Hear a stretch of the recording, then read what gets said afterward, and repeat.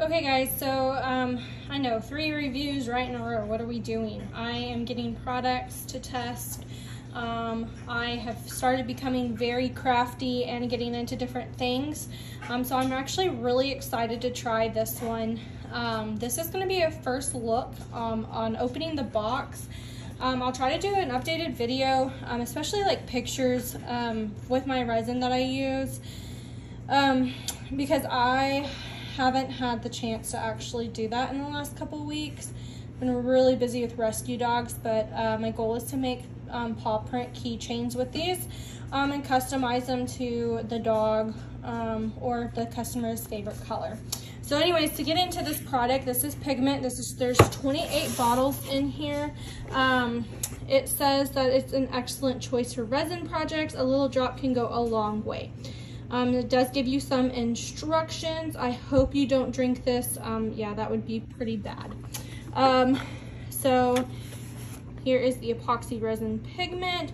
Um, that's where you can find it on Amazon. So let me go ahead and open this up here. Maybe if I can do this one handed. Oh no. Okay.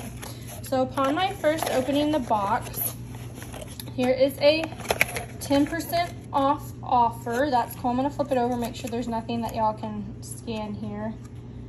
So I'm going to hide the QR code. So it's just telling you about the family here. Um, so that's pretty cool. I'm already getting like 10% off opening the product.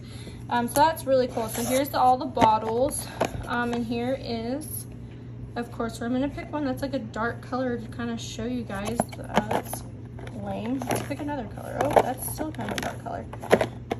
We're just, I don't even know if I put that back in the right spot. Okay, here's a bright color. So see it's settling. Um, so that's why it tells you shake. So we're gonna shake it. Shake, shake, shake. Okay, so I do really like how bright that even looks. Oh my gosh. And this is, I can't read. This is lemon, lemon yellow. I'm sure I could probably read that a lot better on the phone. So there's a lot of different colors. That's the dark green I picked up. Here is a cyan, cayenne, how do you say that? Cyan. Thought that was a pink. Maybe that's a different spelling of it. Blue, green. So 28 colors and they can pick all these cool, this is a purple blue, we got many colors to choose from. I'm so excited to try this. Oh, here's my, oh, this is violet. I thought that's a pink. It's not pink. Where's pink? Pink, purple. Are we getting into the pink family yet? Or are we going the wrong way? We got white, another white,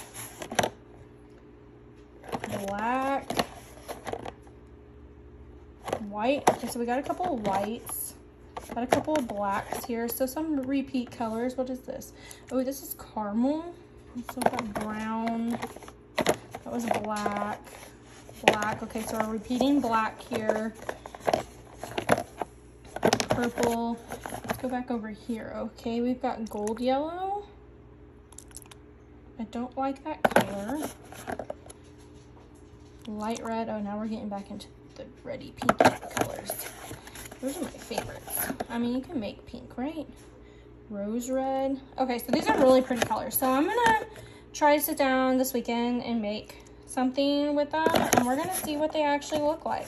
I'm excited to try these. Um, so check them out. They look like they're good bottles. Um, I, I mean, they're coming in the normal bottles, so we'll try these out and we'll, we'll update y'all, see how we do.